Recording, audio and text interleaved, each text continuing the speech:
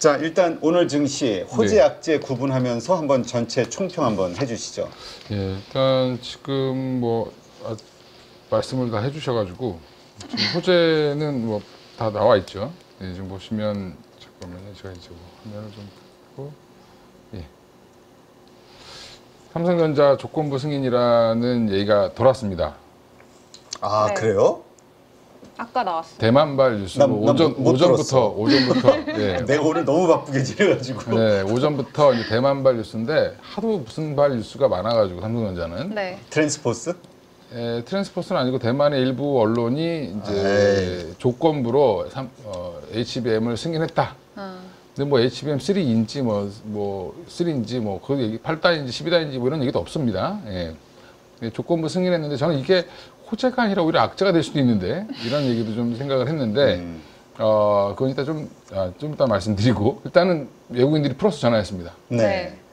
아 이게 애매해. 지난번에 김장열 본부장이 네. 나오셔가지고 그 얘기를 했거든요. 네. 이게 분위기가 확 바뀌는 징조 하나를 내가 말, 말한다. 네. 뭐냐? 외국인이 20만 주 이상 샀을 때가 턴어라운드의 시작이다. 예, 예. 근데 15만 주 샀네. 이거 어떻게 봐야 돼? 이거 참 애매하네. 네. 제가 살짝 이거. 이거 저 잠깐 이거 접속도 좀, 좀 해놓고 네. 말씀을 좀 드리면 일단 하이닉스는 또 오늘 팔았습니다. 네. 예, 그래서 어, 저는 오늘 전체적인 주식시장이 오늘 시장은 좋았는데 네. 주도주를 하셨던 분들은 다 기분이 안 좋으셨을 거예요. 그렇지. 음, 예. 원래 주로 가던 섹터들은 다 쉬었고요. 쉬거나 빠졌고 조정이 나왔고 어, 반면에 바닥권에 있었던 종목들이 오히려 좀 오늘 강한 네. 네, 흐름을 좀 보였다. 그거는 이제 뭐 정책적인 이슈도 좀 있었고 정부에서 갑자기 뭐 석유화학도 지원한다 그러고 그다음에 2차 전지도 지원한다고 그러고 근데 방안을 마련한다라고만 얘기했지 방안을 얘기하진 않았습니다. 맞아요. 이 정부의 특징은 뭔가를 던져놓고 이 정해 정하고 나서 얘기를 하면 좋은데 할 거야 이러고 먼저 또 사전에 알려주고 약간 밸류업 지수도 약간 그랬잖아요. 그렇죠, 그렇죠. 1년 내내 끌면서 이번에도 약간 좀 그런 거에서 믿음이 좀 가진 않지만 여전히 그래도 어, 그 뉴스가 나와서 뭐 롯데케미칼 이런 종목들도 막 올라가고요. 어, LG화학은 양빵이죠. 2차 전지, 석유화. 야, 아, 이거 그 단어가 최선입니까? 예, 양빵, 양빵. 예. 그래서 5% 가까이 상승하고 삼성 SDI가 막 8%씩 올라갔습니다. 네. 그래서 저는 오늘 증시는 어 이제 가장 핵심은 사실 삼성전자가 플러스로 전환한 게 가장 핵심이죠. 아, 14만 원 7천 주. 드라마틱해요. 4만 4%. 예, 그 개인분들은 예, 이익 실현 좀 하신 것 같고요. 예, 손절을 하신 건지. 오늘 기관이 뭐, 좀 사버렸네. 예, 270만 예, 주. 그렇죠. 270만 주 가까이 샀는데 금융 투자가 대부분입니다. 그러네. 아 이것도 기분 아니 근데 아까 이건 프로그램 매수. 아니 아니야 근데 프로그램 매수가 예. 37만 주밖에 안 들어왔어 아 그러면 이거는 아마 투기성 자금. 아니 바로 바로 예, 바꾸시면 어떡해 단기 투기성을 다- 아니 그러니까 프로그램 매수 양을 빼면 나머지는 그냥 프랍에서 산 거라고 보시면 그렇지 돼요. 프랍이나 네. 이랬지 네. 아니 23일 날도 그때 이렇게 좀 올라올 때 그때 네. 보니까 기분이 찝찝했던 게 200만 네. 주가 프로그램 매수라 네. 바로 나올 수도 있겠다 그랬는데 오늘은 좀 다른 것 같아요 그 프랍에서 사서 얼마큼 먹을 거냐라는 음. 게 문제인데 어, 그쪽은 좀 짧게 보죠. 네. 예, 자기들의 목숨줄이 달려 있기 때문에 예, 아마 신용으로 이빨 질러서 샀을 겁니다. 예, 그래서 어, 뭐한 5%만 수익 나도 한 15% 이상 수익 나는 그런 네. 형태로 아마 투자하지 않았을까 생각이 들고요. 어, 일단 그래도 저는 긍정적이다. 왜냐하면 삼성전자 주주분들도 좀 희망이 좀 제가 5만 5천에서 6만 원 사이 밴드를 말씀드렸는데 지금 다행히 그래도 5만 5천 700원을 찍고 올라왔죠. 네 음, 예. 그래서 의미가 있어요 그게 5만 5천을 안 깬 게 의미가 있죠. 예. 그러니까 말씀하셨던 제가 왜 오- 밴드를 깨지 않고 예, 제가 이제 지켜줬다. 5만 5천 원을 왜 말씀드렸냐면 이때를 보고 말씀드린 거거든요. 음, 이때 2023년도에 안 좋을 때 음. 24년, 22년도 말부터 뭐 한 언제부터 안 좋았냐면 22년 6월부터 빠지기 시작해서 이때 얼마까지 빠졌냐면 5만 1,800원까지 빠졌습니다. 네 근데 이제 평균적으로 보면 한 5만 5천 원 정도를 지지를 잘 해줬기 때문에 이거보다 빠지면 사실은 이때 적자 구간이었거든요. 그렇죠 예, 그러면 그건 아니다라고 봤을 때는 한 5만 5천 원으로 잡았는데 뭐 5만 2천 원 여기 120 월선 얘기하시는 분들도 계시는데 여기까지 빼면 좀 너무 그러니까 제가 그냥 5만 5천이라고 자꾸 얘기하고 다녔는데 네. 예, 다행히 5만 5천 7백원에서 올라와서 다행이라고 생각하고요. 네. 일단 근데 아직도 보면 차트 추세 전환 못했습니다. 네. 네, 희망 고문이죠. 네. 어, 그러니까. 너무 이렇게 기뻐하시기보다는 그래도 오늘 하루 기뻐하면 안 돼요? 오늘 하루만 기뻐하시고 내일 또 걱정하셔야 될 것 같습니다. 그래서 내일은 또 이게 이어질지 여부 또 보셔야 될 것 같고요. 네. 어, 일단은 그리고 또 LG 엔솔이 실적이 생각보다 잘 나왔습니다. 네. 어, 그래도 자- 작년보다는 60몇 프로 아니요, 어, 되게 많이 좀 그렇죠. 줄었던데. 음. 작년 대비를 하면 안 되고 네. 이 전- 바닥권에 있는 종목들은 전분기 대비해서 올라오고 있느냐 추세를 보셔야 되는데 물론 이제 안 좋게 얘기하는 쪽은 또 그렇게 얘기하죠. 뭐 보조금 빼니까 적자더라. 네. 근데 그거 합쳐야죠 지금은. 근데 그것까지 같이 감안해서 운영을 하는 건데 그 자꾸 이렇게 그렇게 굳이 그거를 써가지고 예, 네. 초를 치고 있죠. 예. 네. 네, 뭐 하여간 뭐 그거는 이제 호실적 턴어라운드 하는 저는 그래서 2차 전지는 이제 분위기가 조금씩 바뀌고 있다 는 맞습니다. 네. 근데 이제 굳이 이번 주에 막 급해서 막 따라 사시지 마시라. 갖고 저점에 사신 분들은 좀 이번 주에 좀 팔아놓는 게 좋다. 오. 왜요? 이번 주에 좋을 때 좀 대선. 파시고 그 대선이 어떻게 될지 몰라요. 음. 그리고 아까 얘기했던 보조금 받아서 흑자잖아요. 그렇죠. 그러면 트럼프가 보조금 안 주면 적자죠. 음. 근데 그거 합쳐서 생각해야 된다면서요. 아 그러니까 계속 받을 거라고 생각하면 상관없는데 네. 못 받을 거라고 생각하면 확 모멘텀이 음. 확 줄어들겠죠. 어. 그거를 고마- 감안해야 그렇죠. 된다. 그런 거를 리스크를 우리는 돈을 따려고 하는 거지 LG 엔솔을 사랑해서 주식을 사는 건 아니잖아요. 그렇죠. 그죠? 네. 예. 그래서 주식은 사랑하지 마시고 내가 돈을 벌기 위해서 하는 거니까 리스크를 최소화하기 위해서는 그럼 내가 LG 엔솔을 만약에 한 500주 갖고 있다. 그러면 이번 주에 한 300주는 팔아놓고 어 그리고 다음 주에 만약에 트럼프가 당선이 되건 뭐 해리스가 당선이 되건 위로 튀든 아래로 빠지든 할 거 아니에요. 그러면 그때 사도 된다. 음. 위로 따라 사든 밑으로 줍든. 줍든. 음. 지금 댓글창에 이런 글이 하나 올라왔어요. 네. 이 대표님은 왠지 짜네요. 이거. 아 예. 짠하시다고. 아 이제부터 짠 짠건이로. 짠거니. 네.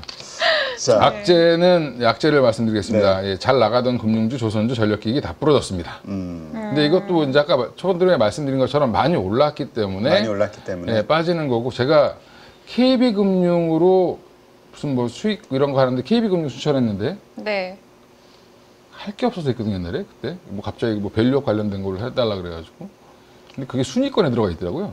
음. 그 정도로 많이 오른 겁니다. 한두 달 사이에. 많이 올랐는데 문제는 미국 금융주 부러지니까 바로 부러지죠. 그러게.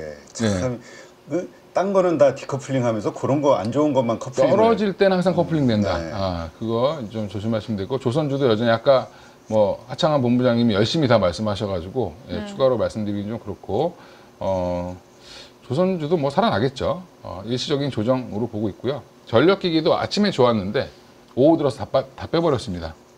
그러니까요. 예. 왜 그래도 그랬을까요? 좀 부담스러운 거죠. 이제 다른 데가 좋으니까 이제 빨리 이제 옮기려고 하는 분들이 좀 있는 것 같습니다. 그래서 전력기기 관련주들도 여전히 조정시 매수인데 여기도 이제 이런 종목들이 보면 다 시세를 많이 줬기 때문에 옆으로 좀 기간 조정을 좀 받아야 되는 구간에 들어갔다. 이제 금융주는 이제 들어가는 것 같고요. 조선주는 이미 들어와서 지금 계속 박스권을 만들고 있죠. 전력기기도 마찬가지로 지금 현대 일렉트릭 기준으로 보면 계속 박스권 행보를 보이고 있는데 이걸 뚫어내려면 surprise한 실적이 나와야 된다. 음. 화장품주들도 오늘 좋았는데 보면 실리콘투 같은 종목이 일부 좋았습니다. 좋았는데 여전히 보면 추세는 이렇게 약간 우하향으로 조정을 받고 있죠. 네. 근데 이게 3분기 실적이 가이던스보다 만약에 잘 나온다. 그러면 또 날아갈 겁니다. 음, 저는 개인적으로 그렇게 보고 있고요. 그래서 이게 주가가 선행을 해야 되는데 선행을 하는 건 맞습니다. 전체 시총 선행을 하는 건 맞는데 항상 실적을 확인하고 확인하고 가려고 하는 습성이 지금 굉장히 강하다. 예, 그렇게 말씀드리겠습니다. 네. 일단 알겠습니다. 조건부 승인 관련해서 조금 잠깐만 언급드리면 네. 그게 기사를 제가 면밀히 봤는데 조건이 무슨 조건인지는 얘기를 안 하고 있습니다. 아니, 그냥 승인이면 승인이지 아니면 아닌 거고. 근데 이제 거기 핵심은 HBM이 부족하다는 거거든요. 아 부족하니까 조금 뭔가 아쉽지만 내 써줄게 이거 이런 그렇죠. 느낌. 예, 예. 근데 아쉽지만 지금 근데 HBM3 이 8단이 어, 삼성에서 만든 게 AMD에는 들어가고 있습니다. 음. 엄청 많이 들어가고 있습니다, 지금. 근데 문제는 AMD가 안 팔리는 게 문제지. 그죠? 음. 그래서 성능을 어마어마하게 잘 만들었습니다.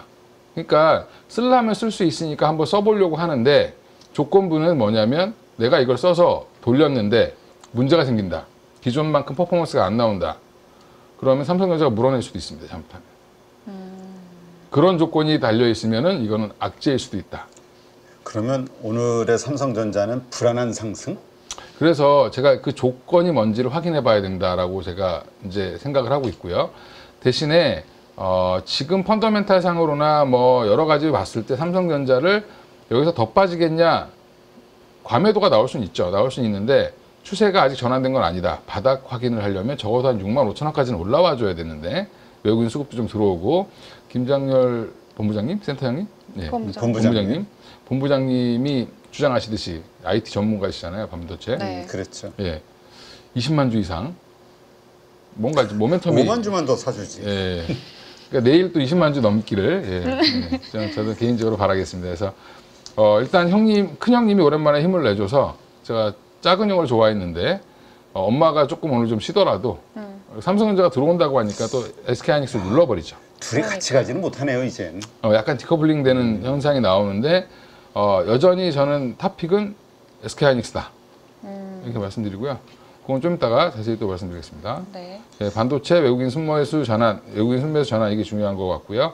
그래서 오늘 생각보다 반도체 관련주들 중에 삼성전자 라인업들 관련된 소부장들이 잘 갔고요. 오히려 한미 반도체는 빠졌습니다. 음. 음. 이수페타시스도 약했고, 어, 이수페타시스는 왜 자꾸 이, 그 하이닉스랑 묶이는지 모르겠어요. 하이닉스랑 전혀 상관이 없는데. 엔비디아 향인데. 예, 그러니까 저는 그거 좀 이상하다고 생각하는데 공부들을 좀 안 하신 것 같다 다들. 예. 그리고 어 한미 반도체 관련돼서 제가 또 예, 말씀을 드리면 제가 개, 이제 개인적으로 공부를 쭉 해보는데 한미 반도체가 좋아하는 종목이어서 어 그냥 간단하게 지금 한미 반도체는 사야 될 타이밍이다. 아그 약간 좀 그 위험한 발언이신데.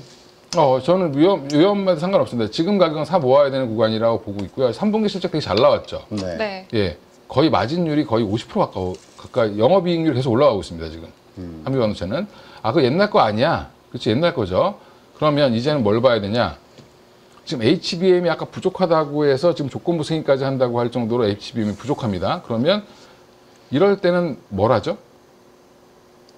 증설을 합니다. 음. HBM 관련된 후공정 패키징 관련된 라인만 더 늘리겠죠. 그런데 누가 늘리냐? 마이크론과 하이닉스가 늘리죠. 하이닉스 발로 지금 이번에 실적이 좋았고요. 그러면 이제 마이크론 쪽으로 물가, 물량이 더 들어갈 가능성이 높겠죠. 예, 그건 제가 개인적으로 다 확인해 봤는데, 네. 예, 올해 안에 아마 수주가 굉장히 많이 나올 겁니다. 음. 예, 그래서 지금 어, 제가 뭐에 비유를 하냐면 요즘에 어, 욕먹을 각오를 하고 한화 한화 한화 이름이 뭐죠? 뭐 까먹었네. 한화 한화 인더스트리얼 예, 솔루션즈. 한화 인더스트리얼 솔루션즈, 인더스트리얼 솔루션즈. 예, 그 회사 그 회사는 제가 단기 매매는 재미있을 거다. 음. 근데 지금 오늘 보니까 약해요. 음. 그 얘기는 뭐냐면 아 이제 사람들이 객관적이 되기 시작했다. 음. 아, 한화 인도의 한화 정밀 기계가 TC bonding 장비를 뭐 테스트하니 안 하니 아, 그러니까 첫 번째 테스트는 통과했습니다. 알파 테스트, 베타 테스트를 아직 검증 중입니다. 베타 네. 테스트가 뭐냐면 기본 성능 검사는 통과했는데 생산 라인에 양산 라인에 집어넣었을 때 되냐 안 되냐를 지금 테스트하고 있는데 그게 아직 통과가 안 된 겁니다. 네. 예, 그렇게 보시면 되고 나머지 이제 한미반도체 나중에 조금 더 좀 종목대 말씀을 더 드리겠지만 지금은 마이크론 실적, 마이크론 양 실적, 그 다음에 삼성전자와의 재결합 이슈 여전히 남아 있다. 지금 삼성전자가 TSMC하고 협력하기로 했잖아요. 네. 그 반도체 수, 그 2나노, 3나노 이쪽에서 수율 안 좋으니까 예. 이런 것들 보면은 지금의 뭔가 좀 좋아지는 흐름이 이 TSMC와의 협력에서 나오는 여러 가지 그 부산물 아니겠느냐 하는 시각도 있긴 하네요. 그렇죠. T, 제가 전에도 말씀드린 것처럼 아무리 존, 젠슨 황이 삼성전자를 쓰고 싶어도 TSMC가 거절하면 못 씁니다. 음. 그러니까 TSMC가 키를 쥐고 있는 거거든요, 지금. 그러니까 여기에서 TSMC와 삼성전자의 관계가 어떻게 풀리느냐가 저는 가장 큰 관건이다라고 보고 있고요. AMD는 쓰는데 왜 엔비디아는 못 쓸까? 그렇죠? 예, 그런 거 따져보면 어, 여전히 삼성전자가 뭔가를 개선할 때 그게 한미 반도체가 키가 될 수도 있다. 음. 아, 근데 한미 반도체는 지금 차트적으로 보면 정말 살 마음이 안 생기는 그렇죠. 차트인데 그럴 때 사야 된다. 역배열이고 그럴 때 사야 된다. 그러니까 아니, 항상 욕 먹을 각오를 하신다고 말씀하시는 거 걱정돼요. 그래서 저는. 아, 예. 아니 그래서 항상 걱정이 각오를. 각오를 하시니까 네. 항상 욕을 네, 먹잖아. 괜찮습니다. 그래도 어. 한번 더 믿겠습니다. 그래도 하이닉스 다시 20만 원 가- 한번 갔으니까. 네. 예, 게임주 또 적어놔야지 또. 예, 네. 시프트업 매자 판도 뭐 이렇게 해가지고 좀 올라왔는데 어, 아는 분만 보시면 됩니다. 예. 맞아 게임주는 진짜 어려워요. 예, 게임. 그래서 저도 게임주는 크래프톤 이외에는 follow-up을 안 했었는데 왜 그랬냐면 크래프톤은 실적이 돌아섰기 때문에 봤던 거고 지금 이제 그것도 다 반영을 해서 주가가 좀 횡보하고 있죠.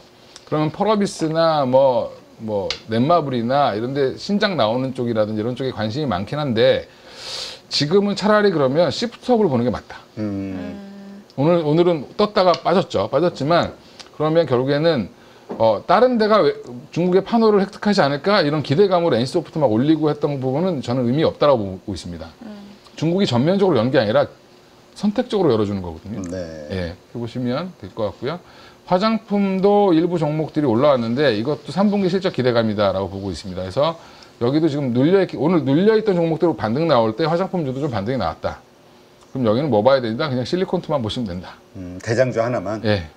그거 못 가면 나머지 다 그냥 다 부러집니다. 예. 그리고 2차 전지. LG엔솔 호실적으로 반등을 했는데 오늘 이쪽이 시- 어떻게 보면 시장을 이끌었죠. 어, 2차 전지 섹터 자체가 거의 모든 종목이 오른 것 같아요 느낌상. 예, LNF, 뭐 그다음에 뭐 에코프로 BM 오늘 의미 있는 상승 상승들을 했는데 근데 아직도 차트 열어보면 예, 그냥 하락 추세에서 못 벗어난 종목들이 대부분입니다. 거래량이 너무 의미를 부여하기가 조금 힘든 거래량이라고 그렇죠, 해야 될까요? 맞습니다. 호가가 좀 얇았다. 음. 예, 그래서 지금은 어 아까도 초대에 말씀드렸지만 지금 LG엔솔, 삼성 SDI 정도만 보시고 어, 이것도 비중을 이번 주 내는 좀 많이 튀면 비중을 좀 줄이자. 좀 줄이자. 음, 어, 그리고 나중에 비싸게 사더라도 아니면 싸게 사든 어, 좀 그렇게 대응을 좀 하셔야 되는 쪽이라고 보고요. 좀 특이했던 거는 유리기판 관련주들이 SKC가 장 초반에 급등을 했는데 이게 나 저는 동박 때문에 올라가는 줄 알았는데 네. 갑자기 관련주들이 유리기판 관련주들이 막 따라 올라왔습니다. 아, 유리기판. 그래서 유리기판에 대한 기대감도 여전하다. 그렇지. 예. 지금 오늘 아침에 그렇잖아요. 제가 E ESSD에 대한 이야기 하다가 예, 예. 전력 결국 그 전력 줄이는 거에 예, 대한 예, 이야기 예, 하다 예, 보니까 유리기판 이야기도 좀 나오긴 했었거든요. 그러니까 유리기판은 TSMC 입장에서는 엔비디아나 TSMC 입장에서는 유리기판으로 가는 게 좋습니다. 음. 그렇죠. 네. 네. 인터포저가 이 엄청난 비용을 깎아먹고 있고 이게 엄청나게 돈이 많이 들어갑니다. 그럼 packaging 비용이 증가하고 있거든요. 그래서 지금 AI 가속기가 왜 비싸냐? 비쌀 수밖에 없습니다. 반도체를 엄청나게 많이 쓰기 때문에. 음. 음, 예, 그러면 그 사실은 이 반도체 기판 하나가 엄청 비싸, 웨이퍼 하나가 굉장히 비싸거든요. 그 웨이퍼를 한 장에서 얼마를 뽑아내느냐에서 굉장히 미세화 공정 들어가고 막 작게 만들고 막 했는데 interposer 이만하게 막 써야 됩니다. 그- 그 기판에서 웨이퍼에서 그럼 웨이퍼 낭비가 되게 심하다. 예, 그런 부분들이 이제 조금 더 기술력이 올라오게 빨리 올라오게끔 만들어주는 거라고 보시면 될 것 같고요. 그래서 저는 여기서는 SKC가 대장이긴 하지만 지금은 필옵틱스를 보는 게 맞다. 음. 너무 단정적으로 얘기를. SKC가? 대장주라고 생각하시는 분들이 의외로 많이 있던데. 앱솔릭스 때문에 대장주인데 네. 가장 빠르게 생산하고 내년이면 생산 그렇죠. 양산한다라고 하니까 대장주인데 문제 는 여기는 동박이 발목을 잡고 있기 때문에 아직까지는 숫자상으로 이게 한쪽이 올라가면 이쪽이 둘다 근데 둘 다 적자입니다. 음, 아직 SKC 전체적으로는 기대감이 있는 거지 네. 회사가 안정적으로 수익을 내고 있는 구간은 아니기 때문에 변동성이 더 클 수 있다. 근데 반면에 오히려 여기에다 장비 팔아먹는 필옵틱스가 훨씬 더 나을 수 있다. 음. 아, 이렇게 보고 있습니다. 저는 그건 이제 제 개인적인 생각입니다. 음, 예. 네. 근데 이제 알겠습니다. 당연히 SKC가 대장이죠. 예. 자 그렇다면 내일장 check point 뭘 네. 봐야 될까요? 예. 일단 check point로 바로 넘어가나요? 예. 내일 일단은 외국인들 수급 변화, 뭐 추세 이런 것도 좀 보실 필요가 있을 것 같고요. 2차 전지 관련된 게 반등 추세가 유지할 수 있는지 여부 여전히 보셔야 되고 최근에 한 1, 2주 거의 언급 안 되는 게 바이오 관련주들인데. 그리고 요즘 많이 흔들려요. 음. 예.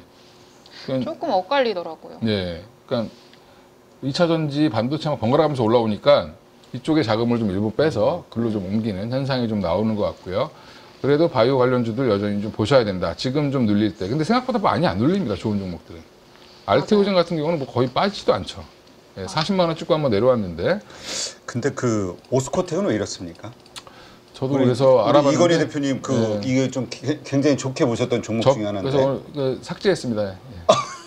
관, 관종에서 예. 아, 이유는 뭐예요? 특별히 뭐 없나요? 아, 일단 그 오스코텍이랑 유한양이 요즘 약했잖아요. 네네. 유한양행도 사실은 좀 포트폴리오가 다양하니까 지키고 있는데 오스코텍은 사실은 지금 렉나자 하나만 보고 있는데 음, 그러니까 일부 증권사에서 렉나자의 판매량이 생각보다 판매 금액이 생각보다 예상만큼 안 나올 거다.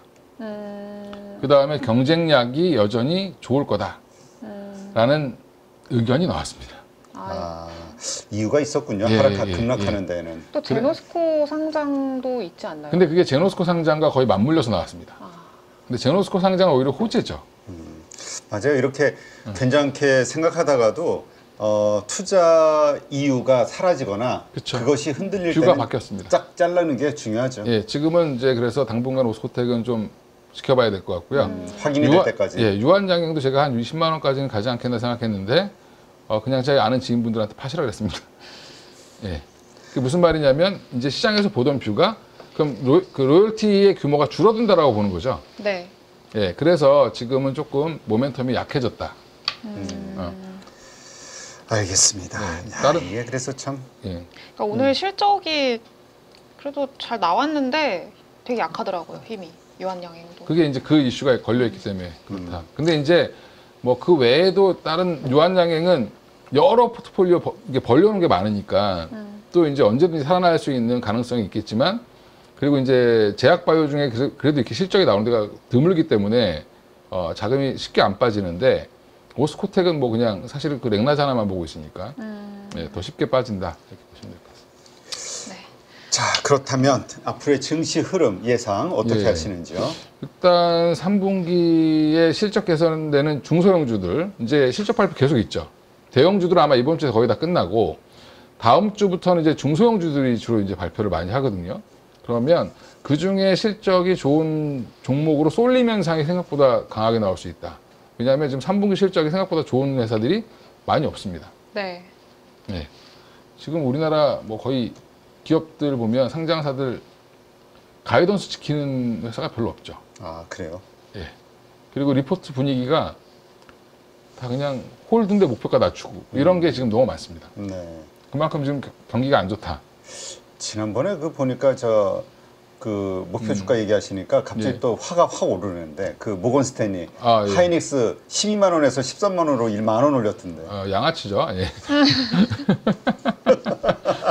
아니 본인도 잘못했다 그러놓고서 만 원 올리는 건 도대체? 야, 뭐- 너무 그렇더라고. 지금 근데 모건 스탠리의 보고서를 어, 팩트만 참조를 하지 주가 그 목표가를 참고하진 않는 것 같습니다. 네. 그러니까 마이크론도 뭐 60불대인가로 낮춰놨는데 안 빠지죠. 네. 예. 그러니까 본인 나라에서도 지금 먹히지 않고 있다. 예. 그러니까 뭐 그냥 개 그냥 지나가는 개가 짖나 보다 이렇게 생각하시면 될 것 같습니다. 아이 또 그것까지야. 예. 하여튼 예, 알겠습니다. 션, 션킴 제가 열심히 보고 있습니다. 예. 아 팔로우하고 계시는군요. 예.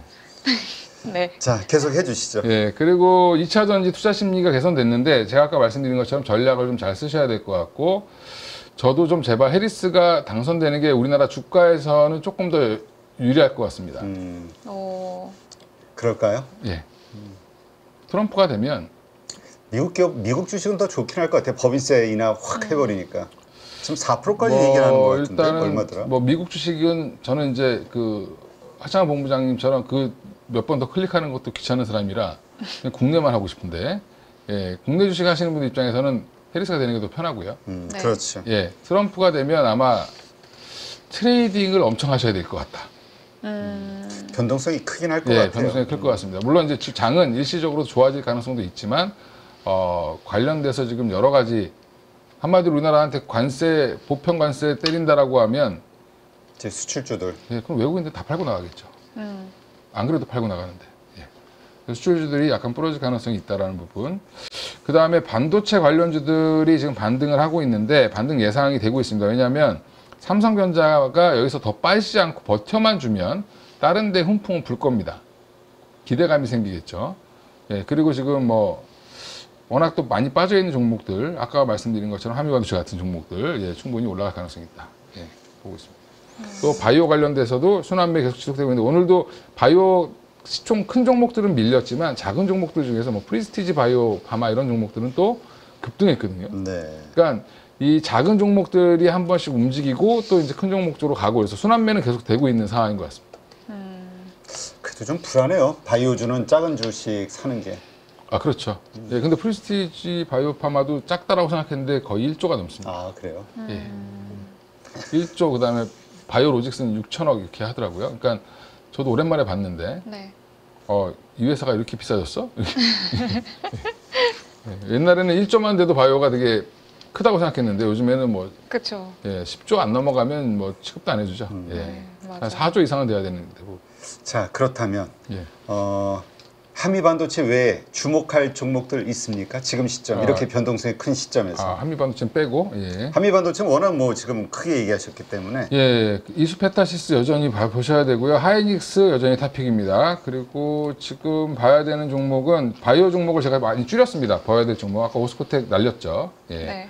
알테오젠, ABL 바이오. 알테오젠은 지금 뭐가 있냐면 이슈가 어, 다이치 산교와의 추가 계약 이슈가 있는데 네. 그 회장님이 오셨죠 한국에. 어, 그렇더라고요.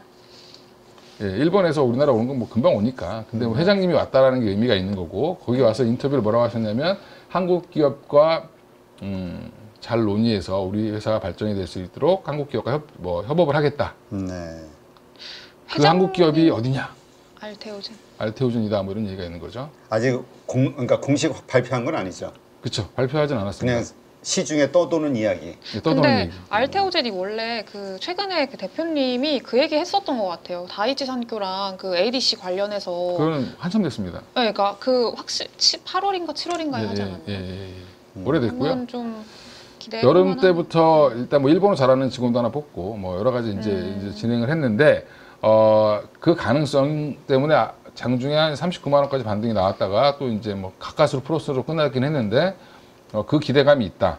어 이제 회장님이 괜히 왔겠냐 뭐 이런 얘기들이 있습니다. 근데 항상 바이오는 이런 얘기가 너무 많다. 음, 사인할 때까지 모른다. 모른다. 예. 네. 이렇게 하시고 ABL 바이오는 오늘 70억 뭐 무슨 받았는데 70억이 뭐냐 이렇게 하시는 분들이 있는데 사노피와의 계약 관련돼서 어, milestone 수령했는데 그게 너무 적지 않냐 그게 중요한 게 아니라 금액이 중요한 게 아니라 사노피가 그 물질을 ABL 301 물질을 이제 본격적으로 임상에 들어간다는 게 중요합니다. 네. 네, 그게 중요하고요. 한미 약품 여전히 봐야 되는데 이건 한미 사이언스 지금 경영권 분쟁 이슈 때문에 네.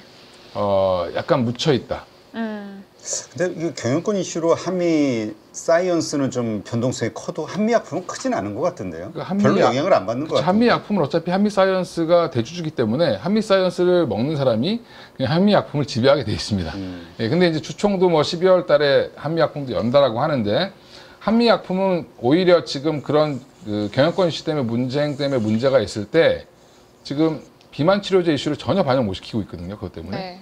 그러니까 오히려 지금은 잘 보셔야 된다. 경영권 문쟁 이슈가 11월 뭐 28일 날 추총 끝나고 나면 결정이 될 텐데, 어, 그러고 나면 아마 한미약품이 조금 더 움직이지 않겠나. 그래서 지금부터 관심 종목에만 좀 넣어놓으시고, 예, 보시면 될 것 같고요.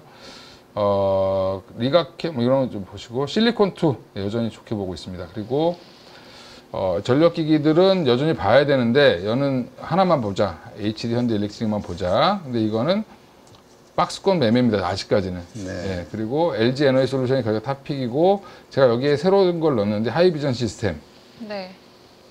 이런 잡주를 왜 넣냐 이렇게 생각하시는 있는데 잡주 아닙니다. 이 회사 되게 좋은 회사고요. 예. 지금 제가 예를 들어 보이면 어, 야, 중소형주 탑픽으로 늘려다가 살짝 고민 시총이 한 2,600억 정도밖에 안 하네. 예 너무 쌉니다 시총이 왜 싸냐면 어, 실적을 근거를 한번- 좀 알려주세요. 네, 몇 실적. 실적을 보여드리겠습니다. 예, 올해 지금 한 550억 정도 예상을 하고 있는데 지금 3분기에 실적이 한 280억 이상 나올 거고요. 그러면 550억 정도를 버는 회사가 지금 시가총액이 아까 말씀하신 것처럼 2,600억이죠. 음, 한 PER 다섯 배. 다섯 배밖에 안 된다는 거죠. 어, 다섯 배로 평가받기에는 여기 회사가 지금 너무 뭐에 물- 문제가 있었냐면 카메라 모듈 검사 장비 업체 이거로만 너무 각인이 돼 있어요. 그렇죠. 근데 여기가 ESS 관련돼서 2차 전지 관련된 검사 장비도 만들고 ESS 배터리 뭐 조립하는 검사 장비도 만들고 어 그래서 실적이 지금 올라오고 있거든요. 사업 다각화에 굉장히 성공을 했고 오히려 카메라 모듈 쪽은 퓨런, 퓨런티어라는 자회사를 빼서 퓨런티어가 자회사죠. 예. 퓨런티어의 대주주입니다, 여기가. 네. 음, 피런티어의 대주주인데 피런티어가 1,300억인데 일단 이쪽으로 좀 빼서 지금 진행을 하고 있는 거고요. 어, 하이비전 시스템은 카메라 모듈 검사 장비도 하지만 나머지도 포트폴리오 계속 확산지고 확산하고 있다. 근데 돈 잘 버는데 주가는 계속 글렀습니다. 네. 이게 휴대폰 쪽이 요새 인기가 없긴 해요. 그러니까 휴대폰 관련주로 좀 보지 마라, 제발. 이렇게 지금 회사에서는 얘기하는 거죠. 아, 근데 시장이 그렇게 봐버리는데 어떻게 해요? 그래서 내가 그- 제가 그랬죠. IR을 열심히 해라. IR. 예, 예. 그래서 지금 제가 어, 볼 때는 2차전 이번에 지금 이게 왜, 왜 올랐냐면 테슬라에서 하이비전 시스템을 왔다 갔다. 아 맞아요. 그것 때문에 목요일에 오른 겁니다. 음, 네. 이걸 뭐냐 뭐라고 하냐면 어, 그 아이돌들이 활동하다가 활동 중단하고 다시 돌아오는 걸 뭐라 그러죠? 컴백. 컴백. 컴백했다. 시장에 다시 이름을 알리기 시작했다. 하이비전 시스템이 살아있다는 걸 알리기 시작했다. 근데 바로 그 다음날 또 장대 음봉이 아, 나와버렸는데. 그렇죠. 이- 원래 이런 테슬라가 공급 계약을 할지 안 할지는 모르니까 네, 일단은 여기 왜 음봉이 나올 수밖에 없냐면 이 가격이 어마어마하게 물려 있습니다. 18,000원대. 네. 그죠? 매물대가 엄청 많죠. 그래서 요거를 뚫으려면 또 한 번의 이슈가 나와야 되긴 하겠지만 이제 관심을 받기 시작했으니까 이런 종목들이 거래 이렇게 싫고 나면 그 다음날 빠졌지만 결국엔 또 한 번 올라갈 가능성이 높다. 네. 네. 아, 내가 이렇게 반론을 제기하고 싶어도 우리 이건희 대표님이 딱 쳐다보면서 이야기를 하시면은 짠하죠. 짠해서 그냥 인정을 하게 돼. 아 그렇군요. 네, 짠, 짠, 짠건이라고. 자 앞으로 우리 짱거리 대표님으로 네, 네. 그래서 모시는 걸로. 요걸 그런 걸로 좀 밀고 나가야 될 것 같습니다. 그래서 네. 이번 주는 하이닉스 여전히 탑픽으로 보고 있고요. 이스페타시스 합리약품. 근데 이 네. SK 하이닉스는 말씀하신 대로 20만 원. 일단 어쨌든 중간 목표까지는 왔어요. 그리고 좀 네. 오늘 빠지기도 네, 했고. 그렇죠. 좀 이게 더 빠지기보다는 오히려 이렇게 중간중간 빠질 때마다 매수 관점으로 보시는 건가요? 더 빠질 거를 대, 그래서 좀 지켜보는 게 아니라 20만 원 밑이면 사야 된다. 20만 원 밑이면 네. 사야 된다. 한미 반도체는 왜 빠져 있나요? 한미 반도체 제가 안 넣나요? 아, 착, 아, top pick이에요. 여기, 여기 있습니다. top. 아 여기 있네 예. 뒤에 아, 지금 한미 반도체 사라 그러면 여기 빨간 걸로 칠- 칠해놓으면 싫어하실 것 같아 가지고. 어... 예. 예, 제 마음속에는 지금 한미반도체 사야 되는데 네. 항상 주가라는 게 이렇게 튀어 올라갈 때 살려고 하죠 사람들이. 음, 네. 그렇죠. 예, 그러니까 조금 기다리는 건 싫어요. 믿음이 있으신 분들은 10만 원 미치면 모으시는 게 맞는데 어 지금 10만 원 뚫으면 사라 그러면 아마 되게 좋아하실 거예요. 음, 근데 지금은 조금 그래서 빨간 거를 제가 안 하고 음... 대신에 지금 한미 반도체를 봐야 되는 관점이 어, 매수 관점이다. 한미 반도체가 엔비디아라고 하면 한화 정밀 기계는 그냥 AMD 정도입니다. 음, 되게 AMD가 예전에 이 AI 가속기 시장 들어온다 그래가지고 주가가 반짝 올랐었어요. 네. 음. 그러다가 지금 죽었죠.